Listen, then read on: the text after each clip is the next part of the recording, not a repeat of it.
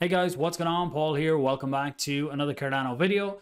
So today we'll take a look at how to use your Ledger hardware device with Cardano smart contracts. So specifically with this one, we'll use the Wingriders DEX as they have already built an integration as well. And up until this point, we haven't been able to use hardware wallets with Cardano smart contracts. And officially, we still can't. We're still waiting on the releases from Ledger that'll hopefully be within the next week or two. And Trezor is sometime in May from the last I heard. But there is a way to install the app on Ledger already. So I'll take you through that, show you how it all looks and how it works. And you can decide what to do with that then. So if you get value, please do share it out. Give the video a like, comment, subscribe, all that kind of stuff really does help. I do appreciate it. And let's jump into it.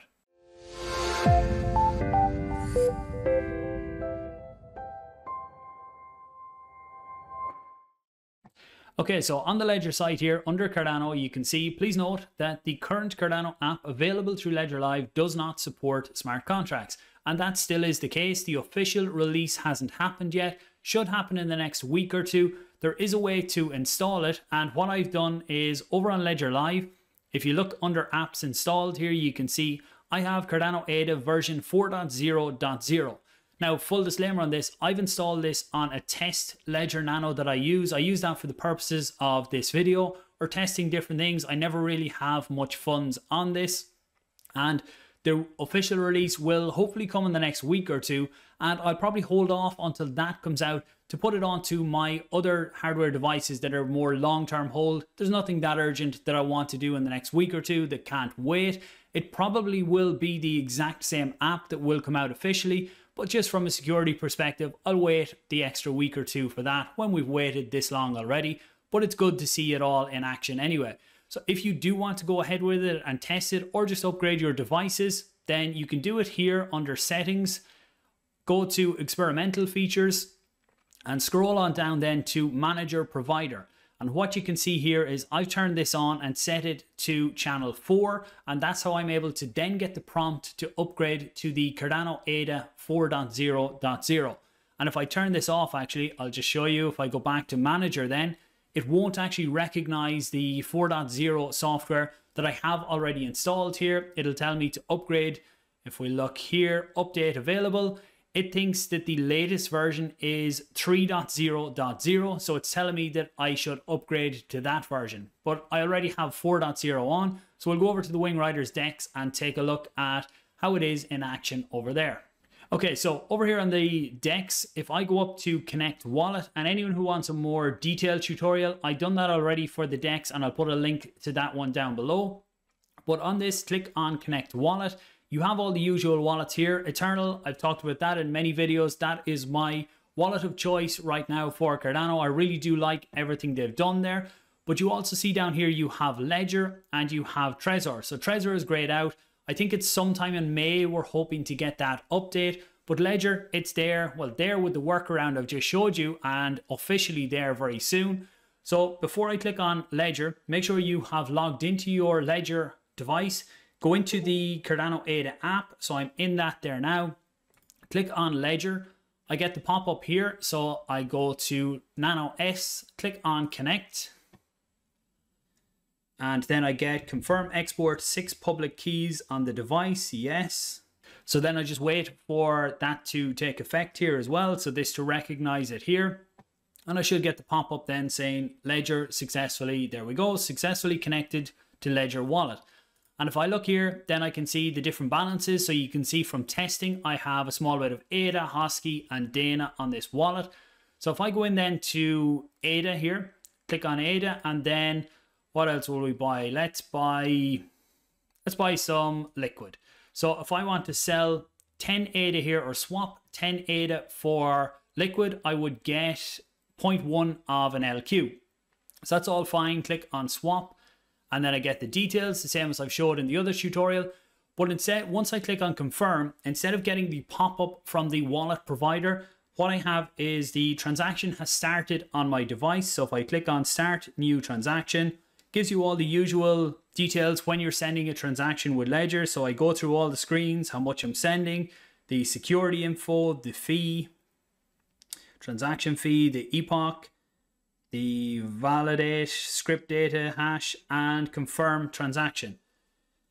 So again, you can go through all of them and read them and you see as soon as, nearly as soon as I click on confirm, it's picked up here that the request has been submitted. If I go to transaction list, so that is a swap done using the ledger, using your hardware wallet, which is great to finally have on Cardano. Now you do see the prompt here that to withdraw your funds, you first need to create collateral. So people who are used to interacting with smart contracts will be familiar with this. So when you want to pull funds out of a smart contract, what you need to do is have collateral set in your wallet. So if I go in here and click on create collateral, click on confirm, and then what I have is the transaction pops up on my wallet here. So I start new transaction and just give it a minute.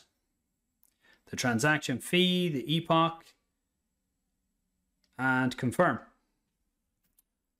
So then I can see create collateral request submitted. So again, I can click on transaction list and it should be creating the collateral on chain now. So what it's doing is it's sending 5 ADA to my own wallet and that's going to be used then as collateral. So it'll send that to a UTXO on its own. Talked about collateral in a few different videos, so we won't get into it in this one, but waiting for them to confirm and then I will add some liquidity into a pool then as well. Okay, and actually just while that is confirming there, you can see the ADA, the ADA to LQ swap has gone through, just waiting to be batched now, and the collateral is being created. But if I look over here on Eternl, so I have this same hardware wallet connected here. I've talked about this before that you can connect wallets to as many providers as you want because the provider like Eternl, Nami, any of these are just basically the application that allows you to see what assets is connected to your account because the assets always stay on chain. So you can see here the transactions that I've put through. That's the one we've just done there to send the ADA, the 14 ADA. And I should see the swap pop up here fairly soon as well. And look, you could use Eternl to do this as well. You could have Ledger connected here and you could connect Eternl in here. So rather than connecting directly with Ledger, you could connect Eternl.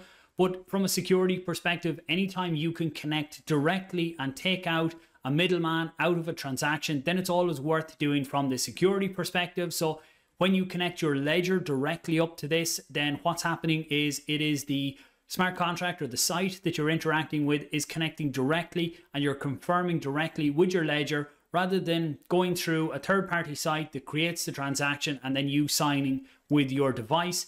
I do fully trust the Eternl wallet. It's the one I use all the time. But if I can cut out a middleman at some stage, there's no point in including someone else in the transaction that essentially doesn't need to be there if you can do it straight yourself.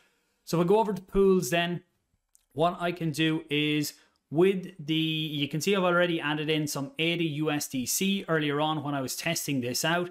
But if I go to the interaction is complete, I can see the sign, the prompt there. So if I go back to transactions, actually that is my swap. So I can see that my swap has gone through the ADA for LQ. And if I come back here, let's refresh. And I can see that the LQ is now in my wallet there as well, which is great. But on the pools then, so if I go into pools, go into add liquidity for the ADA Dana pair because I have some Dana here as well. Click on max to add in all of the Dana. Click on add liquidity, confirm, and then again, I forgot, it's coming up on my ledger here. Click on start new transaction, send to address, the amount you want to send, fingerprint, the token, and confirm output. And that should pick it up on my screen then as well that I have confirmed it. And that's it. And add liquidity request is done. So that is all gone through. And then within transactions, you can see it confirming there as well.